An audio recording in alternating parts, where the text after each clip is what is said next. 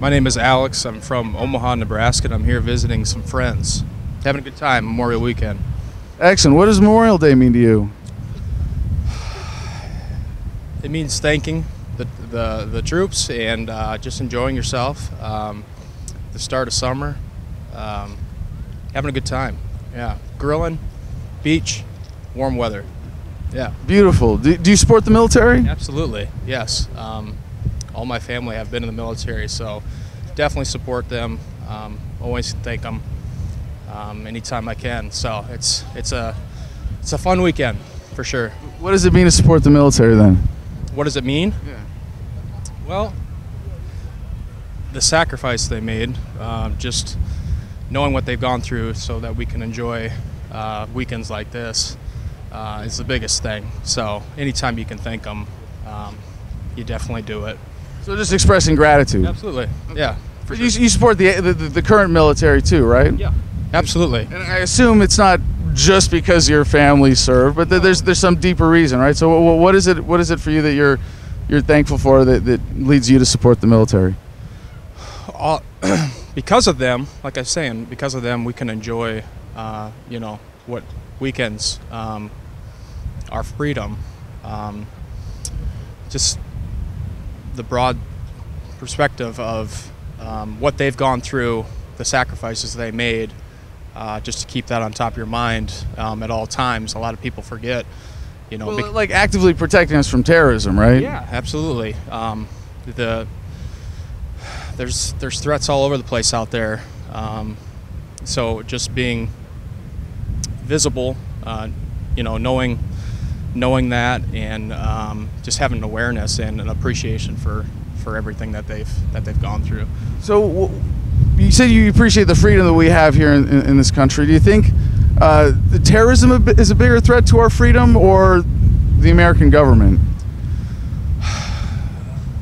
I think terrorism is, uh, to be honest with you. Um, we seem to, there seems to be more and more issues uh, in more and more different countries um, as of late. Um, ongoing threats. Um, Well, would you say that, like you're more likely to get killed by a terrorist than, than by, by your own government at this point? yes, I would. I would. Um, W- Would you be open to, to, to hearing the government statistics on that to see if that was true? Because the, the, the reality there is that you're actually 50 times more likely to be killed by a cop than by a terrorist. You didn't know that, right? But it's not it's, it's not like mind blowing. You can think about like you see headlines that the people are killed by police, sometimes justified, but but oftentimes not. And certainly enough that if you're 50 times more likely as, as an American to die from a cop than by a terrorist, that, that would give you some perspective, right? Absolutely. Um, I, I didn't know that. I mean, that's it's pretty eye opening. So then, about freedom in general and the threat with terrorism. What was the last time a terrorist took uh, took any money out of your paycheck? Uh, never. right. So the- yeah, yeah, yeah. Taxation is a kind of theft, right? I mean, maybe maybe just it is theft, right? Yeah. It's. You're right. It's it's eye opening when you think about it like that. Yeah. Just a little perspective, right? So it's not real. I mean, I, I guess we could keep going. Like, what was what was the last time a terrorist pulled you over for some bullshit? Zero times. Yeah, Yeah, right. yeah, yeah. So, uh, like, I, like I'm a veteran myself, and I, I, I was actually in combat, and to me, it's really frustrating to come home and be like, well, if we were defending freedom, shouldn't shouldn't we have been attacking the government? Sure. Yeah. I, I totally get it. I mean, it's eye opening. I mean, when you when you hear those statistics, um, yeah, you know, rethinking it now after you say that, um, there is definitely some truth into that. You know, when as as you analyze those st- statistics.